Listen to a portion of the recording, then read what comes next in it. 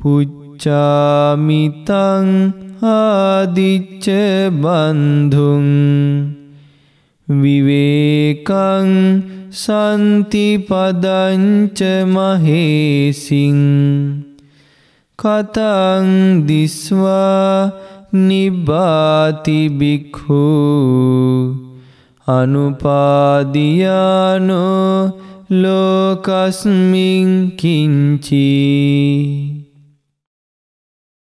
මූලං පපංච සංඛාය මන්තා අස්මීති සබ්බ මුපරුන්ධේ යාකාචිතන්හා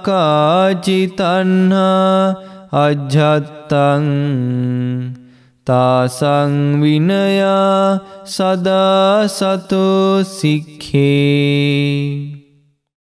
නම බුද්ධාය. හැම දිනාටම තෙරුවන් සරණයි. අපගේ ගුරු දේවෝත්තම කල්යාණ මිත්‍ර පින්වත් ලොකු ස්වාමීන් වහන්සේට අප හැම දිනාගේ নমස්කාරය වේවා. සාදු සාදු සාදු. ශ්‍රද්ධාවන්ත පින්තුනි බුදුරජාණන් වහන්සේගේ ධර්මයේ අපි ඒ අටක වර්ගයට අයිති සූත්‍ර දේශනාවල ඊළඟට අපිට ඉගෙන ගන්නට තිබෙන්නේ තුවටක සූත්‍රය. තුවටක කියලා කියන්නේ වහා ප්‍රතිඵල ලැබීමේ ක්‍රමය. ඉක්මනින් ධර්ම අවබෝධය පිණිස වමනා කරන සුදුසුකම ජීවිතය තුළ සකස් කර ගැනීමට උවමනා කරන දහම් කරුණ ඇතුළත් දේශනාව. යම් කෙනෙක් තුළ මේ දේශනාවේ විදිහට කෙනෙකුගේ ජීවිතය තුළ ගුණධර්මයන් පිහිටනවා නම් ඊළඟට ඒ කුසලතාවයන් කෙනෙක් අප්‍රමාදීව පුරුදු කරගත්තොත් ඒ කෙනාට අවස්ථාව ලැබෙනවා බුදුරජාණන් වහන්සේ වදාළ ධර්මයේ ඉක්මනින් අවබෝධ කරගන්න. ඉතින් ඒ ලෝකේ ගොඩාක් දෙනෙක් කැමති ධර්ම ඉක්මනින් අවබෝධ කරන්න. හැබැයි ඒ කැමති වූ පමණින් ධර්ම අවබෝධය ලබන්න බෑ. ඒකට හේතුව තමයි කැමති වූ පමණින් ධර්ම අවබෝධය නොලැබෙන්නේ එකිනෙකාගේ තිබෙනවා ප්‍රඥාව දියුණු වීම පිණිස පවතින දුර්වලතාවයන්. ඒ දුර්වලතාවයන් සම්පූර්ණ වුණොත් පමණයි ධර්මාබෝධයේ පිණිස උවමනා කරන සුදුසුකම පිහිටන්නේ. ඉතින් ඒකට ජීවිතය ගැන ඊටාම ගැඹුරින් ඊටාම සියුම්ව කල්පනා කරන්න පුළුවන් හැකියාව තිබුණොත් පමණයි ඒ විදිහට ප්‍රඥාව දියුණු කරගන්නට අවස්ථාව තියෙන්නේ. ඉතින් මේ ධර්මය ඉස්සර අතීතේ හිටපු ගිහි පැවිදි ශ්‍රාවකින් බොහොම ගෞරවයෙන් මේ ධර්මයේ පුරුදු කළා. ඒ වගේ මේ ධර්මය ඉගෙන ගත්තා. ධර්මය විමසුවා. තමන්ගේ ජීවිතය ධර්මයේ තුලින් සම්පූර්ණ කරගත්තා. වර්තමාන ලෝකේ මිනිස්යාට තියෙන බලවත්ම අරුබුදේ තමයි ධර්මයේ දෙවනි තැනට යොදාගෙන ධර්මයෙන් පරිබාහිර වූ කාමයන් සෙවීම කාමයන් පිළිබඳ අපේක්ෂාව මුල් තැනට අරගෙන කටයුතු කිරීම. ඉතින් ඒ නිසා වර්තමාන ලෝකයේ මිනිස්යාට මේ ධර්මය ජීවිතයට සම්බන්ධ වෙන්නේ නැහැ. ධර්මයෙන් දුරස් වෙලා යනවා. ඒ නිසා කොයිතරම් කැමැත්ත තිබුණත් යම් යම් මතවාද දෘෂ්ටි ඊළඟට කිලෙස් සහිත බන්ධන මේවාට යටවීම නිසා ඔහුගේ ජීවිතයේ ධර්මයෙන් ඈත් වෙලා යනවා.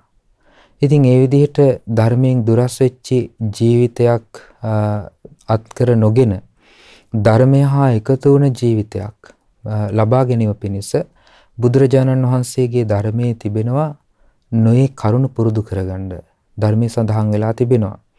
ඉතින් ඒ කාරණා අපේ ජීවිතේට පුරුදු කරගත්තොත් පමණයි ප්‍රතිඵලයක් ඒකෙන් ලබන්න පුළුවන් වෙන්නේ. ඉතින් ඒ දෙව් පිරිස අතර ඇති වුණා ප්‍රශ්නයක් ඉක්මනින් ධර්මය අවබෝධ කරගන්නේ කොහොමද? ඉක්මනින් ධර්මයේ ප්‍රතිඵල ලබන්නේ කොහොමද කියලා. දැන් බලන්න අපි කලින් ඉගෙනගත්තු දේශනා කිහිපෙදී භාග්‍යතුන් වහන්සේ ඒ කරුණු ප්‍රකාශ කරනකොට සමහර දෙවිවරු බොහෝ පිරිස් දෙව් පිරිස් අතර හිටපු බොහෝ පිරිසක් මාර්ගඵල ලැබුවා.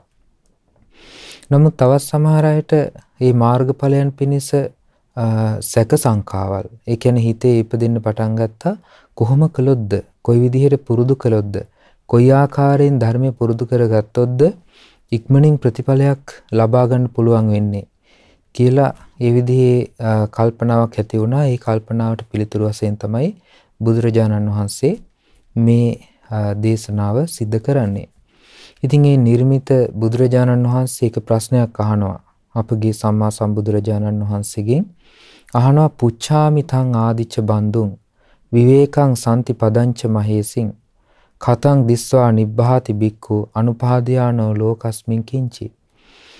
අහනවා පුච්ඡාමිතං ආදිච්ච බන්දු ආදිච්ච බන්දු කියලා කියන්නේ සූර්යාගේ ඥාතියා. සූර්ය වංශයේ භාගතුන් වහන්සේ ගෞතම ගෝත්‍රයේ සූර්ය වංශය ඒ සූර්යාගේ ඥාතියා වූ ආදිච්ච බන්දු වූ භවත් ගෞතමයන් වහන්සේගෙන් අහනවා ප්‍රශ්නය.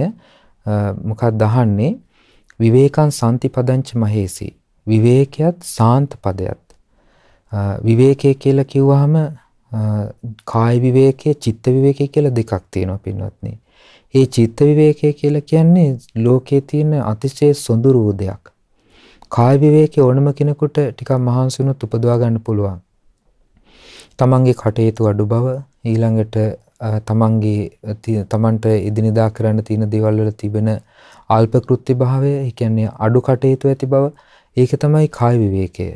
එතකොට ඒ කිනාට ගොඩක් ඥාති පිරිස් සමග සම්බන්ධතා නැහැ.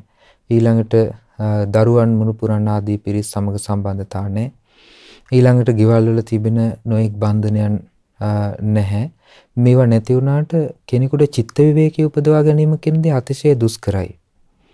චිත්ත විවේකී කියලා කියන්නේ ජීවිතය හා සම්බන්ධ අකුසලයන්ගෙන් සිත මුදවා ගැනීම. ඒ කියන්නේ නීවරණ වලින් සිත නිදහස් වීම චිත්ත විවේකය. නීවරණ සහිතව කෙනාට කියන කාමච්ඡන්ද ව්‍යාපාද තීන මිද්දාදී මේ නීවරණයන්ගෙන් සිත බහුලව පෙළෙනවා නම් ඒ කරුණක චිත්ත විවේකයට බාධාවක්.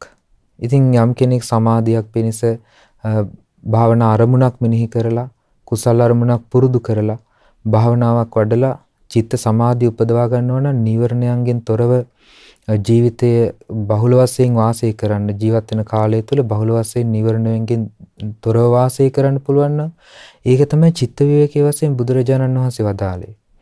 ඊළඟට ජීවිතයේ මේ සමහර අයගේ සිත නොයේ කකුසල් වලට බැඳිලා යනවා. ඒවට කියනවා සංඛාර කියලා. ඒ සංඛාර කියලා කියන්නේ නොඑක ආකාරයේ ස්වභාවයන්ට සිත ග්‍රහණය වෙලා යනවා.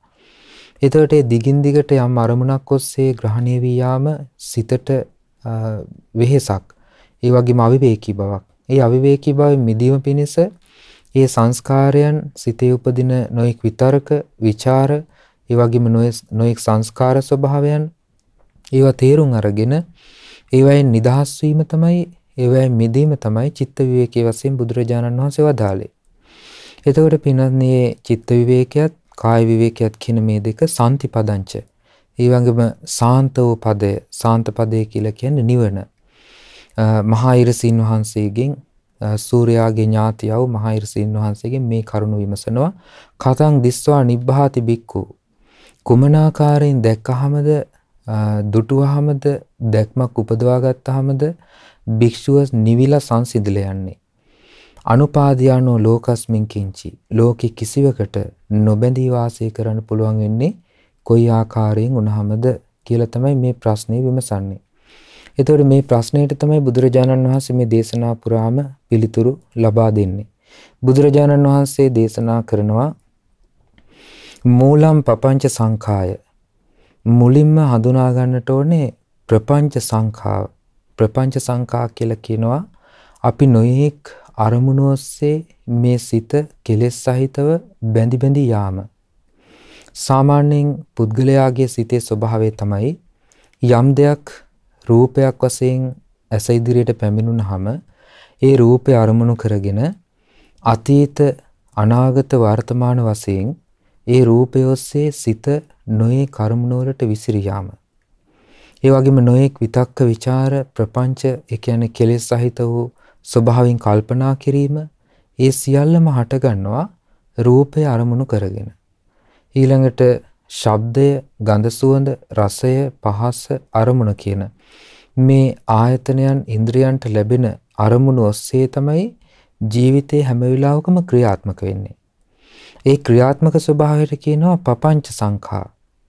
ඒවා පිළිබඳව කල්පනා කරමින් සිටීම දිගින් දිගට කෙලෙස් සහිත විදිහට කෙලෙස් හැදෙන විදිහට කල්පනා කරමින් සිටීම තමයි ප්‍රපංච සංඛා කියලා කියන්නේ.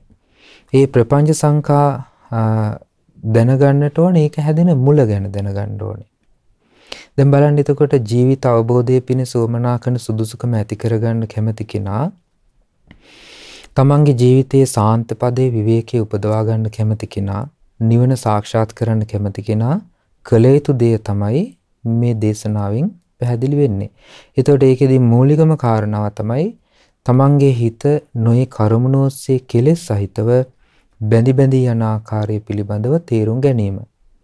මේ පළවෙනි පියවර කෙනෙක් උපදවා ගන්නේ ලෝකේ බුදුරජාණන් වහන්සේ දේශනා කරපු මේ ලෝකය, ඒ කියන්නේ ලෝකය කියලා කියන්නේ බඹයක් පමණ වූ හිසින් හිස් මුදුනින් පහළට යටිපතුලෙන් උඩට සමින් ආවරණය වූ ඒ වගේම ඉලීම් පිරිමැදීම් සහිත බත්මාළු පිණි යැපෙන ඒ වගේම මව්පිය සම්භවයෙන් හටගත්තු මේ කයට බඹයක් පමණ වූ මේ ශරීරය. එතකොට මේ ශරීරයේ එහෙම නැත්නම් මේ ජීවිතේ මේ කයේ තමයි මේ සියලුම දේවල් හටගන්නේ. මේ ජීවිතය තුළ තමයි සියලුම දේවල් නිරුද්ධ වී යන්නේ. එතකොට අපි යම් කෙනෙක් නුවණ මෙහෙවනවා නම් නුවණ පාවිච්චි කරනවා නම් එයාට යෝනිසෝ මනසිකාරය දෙන්න පුළුවන් කෙනෙක් ඉන්නවා නම් ඔහුට ජීවිතය සම්බන්ධව යම් අවබෝධයක් ලැබෙනවා නම් ඔහු විමසිය යුත්තේ ඒ අවබෝධය පිණිස මේ ජීවිතය ගැනයි. ජීවිතය ගැන විමසන කෙනාට ඊළඟට දකින්න ලැබෙනවා භාග්‍යතුන් වහන්සේ වදාලා මන්ත අස්මේති සබ්බ මුපරුන්දේ සියලු දෙයට මුල් වෙන යම් අස්මිමානයක් අස්මිමානය කියලා කියන්නේ පංච උපාදානස්කන්ධය පිළිබඳව බලවත්ව සිතේ පවතින බන්ධනය. එතකොට මේ පංච උපාදානස්කන්ධය ගැන යම් කෙනෙකුගේ හිතේ තියෙනවා නම් බලවත් වූ බන්ධනයක් ඒ නිසාම තමයි සංසාර ගමනකට එයා වැටිලා තියෙන්නේ. ඒ වගේම සක්කාය දිට්ඨිය නම් වූ බන්ධනය දුරු කළත් අස්මිමානය දුරු වෙන්නේ කෙනෙක් ඉහළ මාර්ගඵලයන් සාක්ෂාත් කරද්දී. එතකොට ඒ අස්මිමානය දුරු කිරීම පිණිස තමයි බුදුරජාණන් වහන්සේලා ලෝකයේ ධර්මයේ දේශනා කරන්නේ.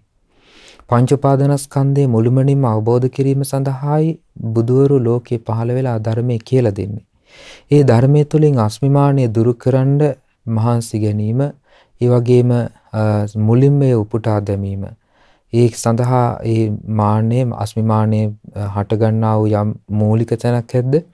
ඒ මූලික තැන මුලින්ම උදුරා දැමීම තමයි බුදුරජාණන් වහන්සේ මේකෙන් අදහස් කරන්නේ.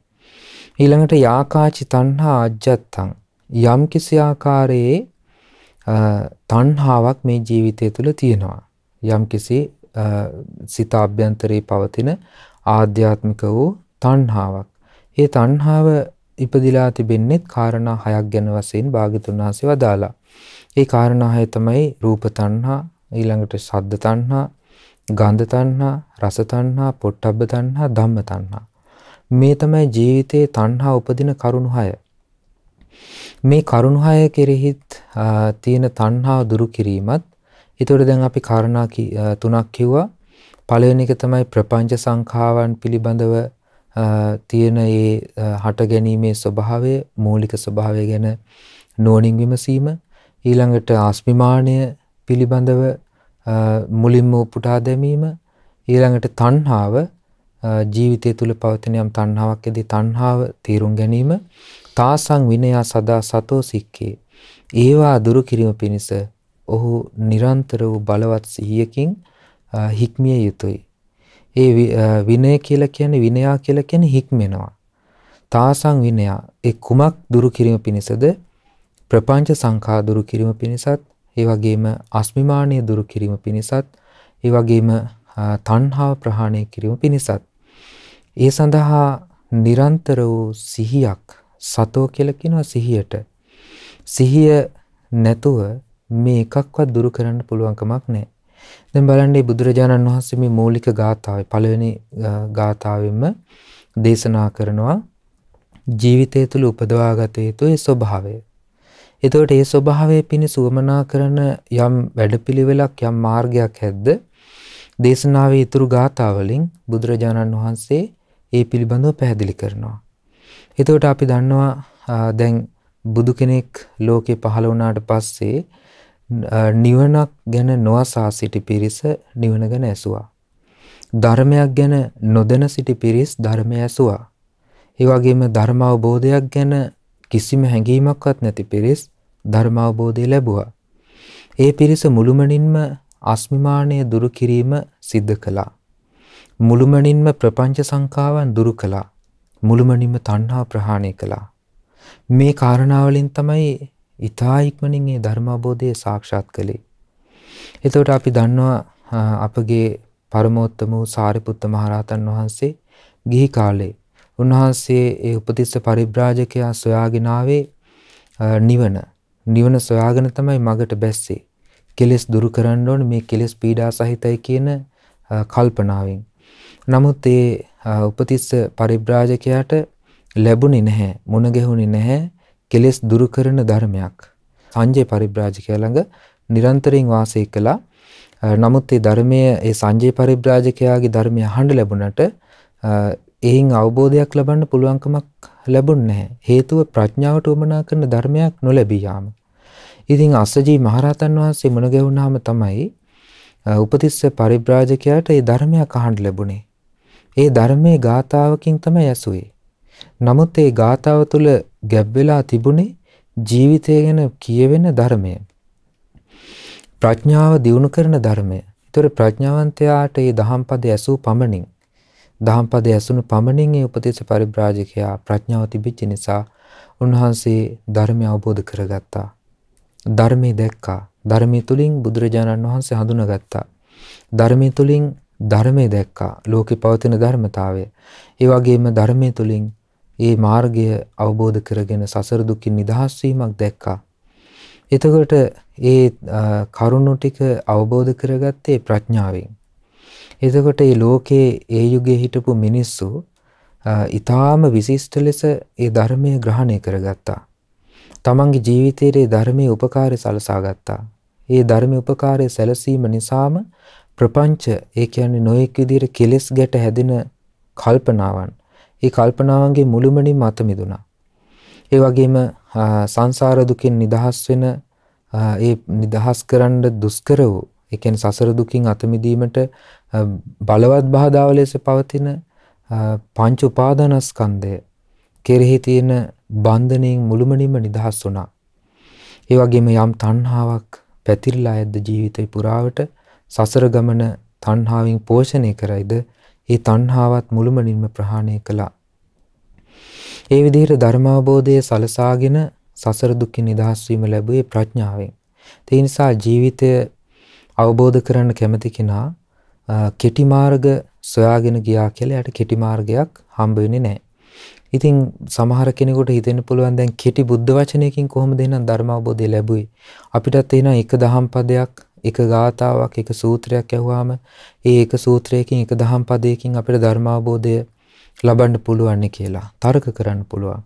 නමුත් ඒ මිනිස්යාට වර්තමාන ලෝකයේ මිනිස්යාට ප්‍රඥාවේ තියෙන හීන බව ඊළඟට දෘෂ්ටිවලට වැටෙන ස්වභාවය නොයෙක් මතවාදයන්ට ග්‍රහණය වෙන ස්වභාවය බලවත්ව පිහිටලා තියෙනවා. ඒක තමයි මේ යුගයේ තියෙන මුලාවේ බලවත්කම. ඒ මුලාව විසින් පුද්ගලයාව පරිහානියට ලක් කරලා පුද්ගලයාගේ සිත පිරීමට ලක් කරලා තියෙනවා. ඒක තමයි වර්තමාන ලෝකයේ ධර්මාබෝධය කරා යන්න කැමති වුණත් ධර්මාබෝධය සැලසෙන්නේ නැති වෙන්න හේතුව. වර්තමාන ලෝකයේ මිනිස්යාගේ හිත නොඑක ආකාරයේ කෙලෙස් වලින් අවිද්‍යාව සහගත වූ මුලාවන්ගෙන් පිරීලා තියෙන්නේ. එවැනි වූ පිරිච්චි හිතකට ධර්මයේ කොයිතරම් ඒ දහම් පද ඇහුණත් අර්ථය ග්‍රහණය වෙන්නේ නැහැ. අර්ථය ග්‍රහණය නොවෙන්නේ කෙලෙස් මලකඩේ මලකඩ කාචි නිසා. අපි ගත්තාම මලකඩ කාචි යකඩකින් ගත හැකි ප්‍රයෝජනයක් නැහැ. මේ මලකඩ ඉවත් කරගන්න ඕනේ. මේ මලකඩ දුරු කරගන්න ඕනේ. මලකඩ දුරුනොත් පමණයි ඒකෙන් ප්‍රයෝජනයක් ගන්න පුළුවන් වෙන්නේ.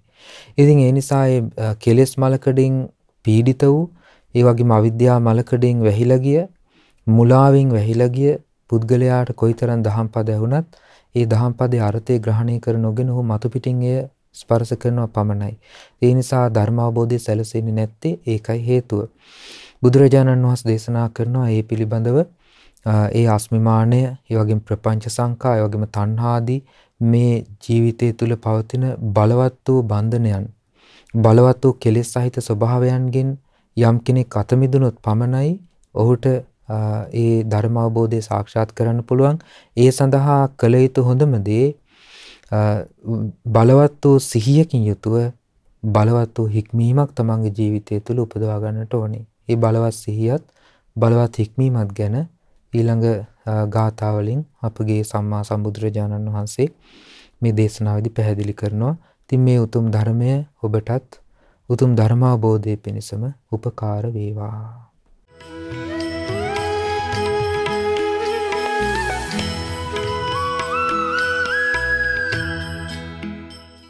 අද දවසේදී මේ උතුම් සදහම් වැඩසටහන සඳහා දායකත්වයේ සපයන්නේ එංගලන්තයේ පදිංචි නයෝමි සහ නැටලි කියන ඒ පිනුතුන් විසින්. රැස් කරගත් සියලු පුණ්‍ය ධර්මයන් සියලු දෙවියෝ අනුමෝදන් වෙත්වා. දෙවියන්ගේ ධාර්මික රැකවරණේ ආශිර්වාදය හැම දිනාටම සැලසෙත්වා. සියලු දෙවියෝ දුතුම් ධර්මාබෝධයෙන් සැනසෙත්වා. උතුම් පුණ්‍ය ධර්මයන් ගුරු දේවෝත්තම කල්යාණ මිත්‍ර පින්වත් ලොකු ස්වාමීන් වහන්සේට අනුමෝදන් වෙත්වා. නිදුක් වේවා නිරෝගී වේවා සුවපත් වේවා. ඒ වගේම චිරජීවනයේ ලබත්වා. උතුම් ධර්මාබෝධයේ පිණිස රැස් කළ සියලු පින් උපකාර වේවා.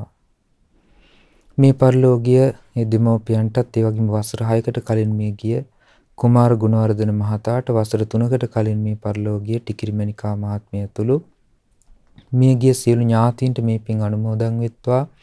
ඒ අයගේ පරලොව ජීවිත සැපවත් වේවා සුවපත් වේවා සංසාර දුකින් අත මිදෙන්නට රැස් කළ සියලු පින් උපකාර වේවා.